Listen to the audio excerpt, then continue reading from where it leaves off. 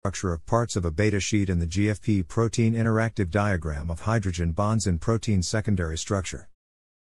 Cartoon above, atoms below with nitrogen in blue, oxygen in red. The beta sheet is a common motif of the regular protein secondary structure. Beta sheets consist of beta strands connected laterally by at least two or three backbone hydrogen bonds, forming a generally twisted, pleated sheet. A beta strand is a stretch of polypeptide chain typically 3 to 10 amino acids long with backbone in an extended conformation. The supramolecular association of beta sheets has been implicated in the formation of the fibrils and protein aggregates observed in amyloidosis, notably Alzheimer's disease. An example of a four stranded antiparallel beta sheet fragment from a crystal structure of the enzyme catalase. A. Front view, showing the antiparallel hydrogen bonds between peptide NH and CO groups on adjacent strands. Arrows indicate chain direction, and electron density contours outline the non hydrogen atoms. Oxygen atoms are red balls, nitrogen atoms are blue, and hydrogen atoms are omitted for simplicity. Side chains are shown only out to the first side chain carbon atom. B. Edge on view of the central two beta strands in A, showing the right-handed twist and the pleat of C alpha S and side chains that alternately stick out in opposite directions from the sheet. The first beta sheet structure was proposed by William Astbury in the 1930s. He proposed the idea of hydrogen bonding between the peptide bonds of parallel or antiparallel extended beta strands. However, Astbury did not have the necessary data on the bond geometry of the amino acids in order to build accurate models, especially since he did not then know that the peptide bond was planar. A refined version was proposed by Linus Pauling and Robert Corey in 1951. Their model incorporated the planarity of the peptide bond, which they previously explained as resulting from keto-enol tautomerization. The majority of beta strands are arranged adjacent to other strands and form an extensive hydrogen bond network with their neighbors in which the N-H groups in the backbone of one strand establish hydrogen bonds with the C equals O groups in the backbone of the adjacent strands.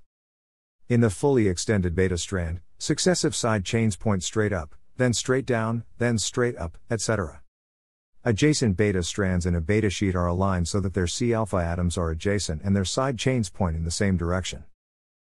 The pleated appearance of beta strands arises from tetrahedral chemical bonding at the C alpha atom. For example, if a side chain points straight up, then the bonds to the C must point slightly downwards, since its bond angle is approximately 109.5 degrees.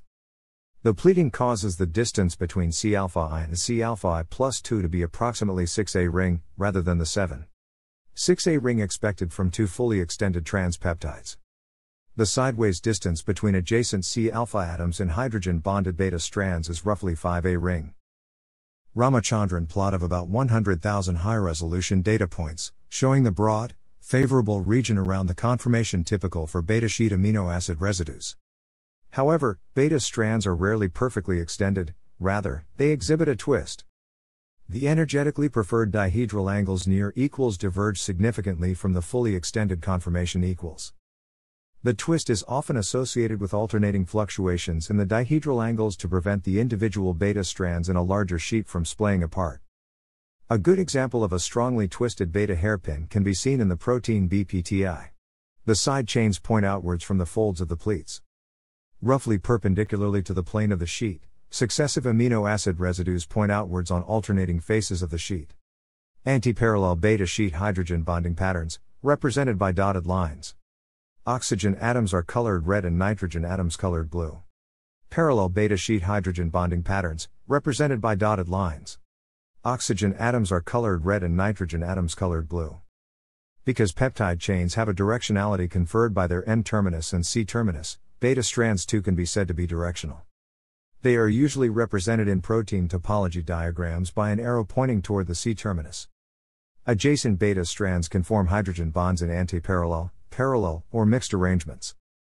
In an antiparallel arrangement, the successive beta strands alternate directions so that the N terminus of one strand is adjacent to the C terminus of the next. This is the arrangement that produces the strongest inter-strand stability because it allows the inter-strand hydrogen bonds between carbonyls and amines to be planar, which is their preferred orientation. The peptide backbone dihedral angles are about in antiparallel sheets. In this case, if two atoms C alpha I and C alpha J are adjacent in two hydrogen bonded beta strands, then they form two mutual backbone hydrogen bonds to each other's flanking peptide groups, This is known as a close pair of hydrogen bonds. In a parallel arrangement, all of the N termini of successive strands are oriented in the same direction. This orientation may be slightly less stable because it introduces nonplanarity in the interstrand hydrogen bonding pattern. The dihedral angles are about in parallel sheets. It is rare to find less than five interacting parallel strands in a motif, suggesting that a smaller number of strands may be unstable, however, it is also fundamentally more difficult for parallel beta sheets to form because strands with N and C termini aligned necessarily must be very distant in sequence. There is also evidence that parallel beta sheet may be more stable since small amyloidogenic sequences appear to generally aggregate into beta sheet fibrils composed of primarily parallel beta sheet strands. Where one would expect antiparallel fibrils if antiparallel were more stable. In parallel beta sheet structure, if two atoms C alpha I and C alpha J are adjacent in two hydrogen bonded beta strands, then they do not hydrogen bond to each other, rather, one residue forms hydrogen bonds to the residues that flank the other. For example, residue I may form hydrogen bonds to residues J-1 and J plus 1. This is known as a wide pair of hydrogen bonds. By contrast, residue J may hydrogen bond to different residues altogether, or to none at all. The hydrogen bond arrangement in parallel beta sheet resembles that in an amide ring motif with 11 atoms. Finally, an individual strand may exhibit a mixed bonding pattern, with a parallel strand on one side and an anti-parallel strand on the other. Such arrangements are less common than a random distribution of orientations would suggest, suggesting that this pattern is less stable than the anti-parallel arrangement. However, Bioinformatic analysis always struggles with extracting structural thermodynamics since there are always numerous other structural features present in whole proteins. Also, proteins are inherently constrained by folding kinetics as well as folding thermodynamics, so one must always be careful in concluding stability from bioinformatic analysis. The hydrogen bonding of beta strands need not be perfect, but can exhibit localized disruptions known as beta bulges. The hydrogen bonds lie roughly in the plane of the sheet, with the peptide carbonyl groups pointing in alternating directions with successive residues. For comparison, successive carbonyls point in the same direction in the alpha helix. Large aromatic residues and beta branched amino acids are favored to be found in beta strands in the middle of beta sheets. Different types of residues are likely to be found in the edge strands in beta sheets, presumably to avoid the edge to edge association between proteins that might lead to aggregation and amyloid formation.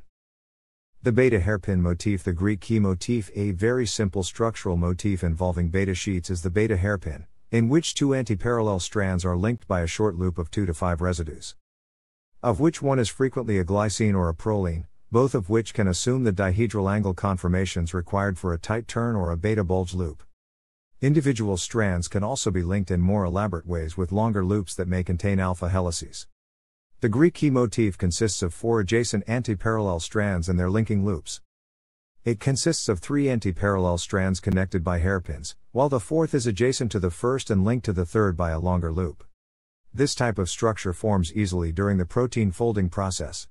It was named after a pattern common to Greek ornamental artwork. Due to the chirality of their component amino acids, all strands exhibit right handed twist evident in most higher order beta sheet structures. In particular, the linking loop between two parallel strands almost always has a right handed crossover chirality, which is strongly favored by the inherent twist of the sheet. This linking loop frequently contains a helical region, in which case it is called a beta, alpha, beta motif. A closely related motif called a beta, alpha, beta, alpha motif forms the basic component of the most commonly observed protein tertiary structure, the TIM barrel. The beta meander motif from outer surface protein A. The image above shows a variant of OSPA that contains a central, extended beta meander beta sheet featuring three additional copies of the core OSPA beta hairpin that have been duplicated and reinserted into the parent OSPA beta sheet. Side loop motif from carboxypeptidase A, a simple supersecondary protein topology composed of two or more consecutive antiparallel beta strands linked together by hairpin loops. This motif is common in beta sheets and can be found in several structural architectures including beta barrels and beta propellers. The vast majority of beta meander regions in proteins are found packed against other motifs or sections of the polypeptide chain, forming portions of the hydrophobic core that canonically drives formation of the folded structure. However, several notable exceptions include the outer surface protein of variants and the single layer beta sheet proteins, which contain single layer beta sheets in the absence of a traditional hydrophobic core. These beta rich proteins feature in extended single layer beta meander beta sheets that are primarily stabilized via inter beta strand interactions and hydrophobic interactions present in the turn regions connecting individual strands. The psi loop motif consists of two anti-parallel strands with one strand in between that is connected to both by hydrogen bonds. There are four possible strand topologies for single psi loops. This motif is rare as the process resulting in its formation seems unlikely to occur during protein folding. The psi loop was first identified in the aspartic protease family. Beta sheets are present in all beta, alpha plus beta and alpha, beta domains, and in many peptides or small proteins with poorly defined overall architecture. All beta domains may form beta barrels, beta sandwiches, beta prisms, beta propellers, and beta helices. The topology of a beta sheet describes the order of hydrogen bonded beta strands along the backbone. For example, the flavodoxin fold has a five stranded, parallel beta sheet with topology 21345. Thus, the edge strands are beta strand 2 and beta strand 5 along the backbone. Spelled out explicitly, beta strand 2 is H bonded to beta strand 1, which is H bonded to beta strand 3, which is H bonded to beta strand 4, which is H bonded to beta strand 5, the other edge strand. In the same system, the Greek key motif described above has a 4123 topology. The secondary structure of a beta sheet can be described roughly by giving the number of strands, their topology, and whether their hydrogen bonds are parallel or antiparallel. Beta sheets can be open, meaning that they have two edge strands, or they can be closed beta barrels. Beta barrels are often described by their stagger or shear. Some open beta sheets are very curved and fold over on themselves or form horseshoe shapes. Open beta sheets can assemble face to face or edge to edge, forming one big beta sheet. Beta pleated sheet structures are made from extended beta strand polypeptide chains, with strands linked to their neighbors by hydrogen bonds. Due to this extended backbone conformation, beta sheets resist stretching. Beta sheets in proteins may carry out low frequency accordion like motion as observed by the Raman spectroscopy and analyzed with the quasi continuum model. End view of a three sided, left handed beta helix. A beta helix is formed from repeating structural units consisting of two or three short beta strands linked by short loops. These units stack atop one another in a helical fashion so that successive repetitions of the same strand hydrogen bond with each other in a parallel orientation. See the beta helix article for further information. In left handed beta helices, the strands themselves are quite straight and untwisted, the resulting helical surfaces are nearly flat, forming a regular triangular prism shape, as shown for the 1QRE archaeal carbonic anhydrase at right. Other examples are the lipid A synthesis enzyme LCA and insect antifreeze proteins with a regular array of THR side chains on one face that mimic the structure of ice. End view of a three sided, right handed beta helix, right handed beta helices, typified by the pectate lyase enzyme shown at left or P22 phage tailspike protein, have a less regular cross section. Longer and indented on one of the sides, of the three linker loops, one is consistently just two residues long and the others are variable, often elaborated to form a binding or active site. A two sided beta helix is found in some bacterial metalloproteases. Its two loops are each six residues long and bind stabilizing calcium ions to maintain the integrity of the structure. Using the backbone and the ASP side chain oxygens of a GGX-GXD sequence motif. This fold is called a beta roll in the SCOP classification. Some proteins that are disordered or helical as monomers, such as amyloid beta can form beta sheet rich oligomeric structures associated with pathological states. The amyloid beta protein's oligomeric form is implicated as a cause of Alzheimer's. Its structure has yet to be determined in full, but recent data suggest that it may resemble an unusual two strand beta helix.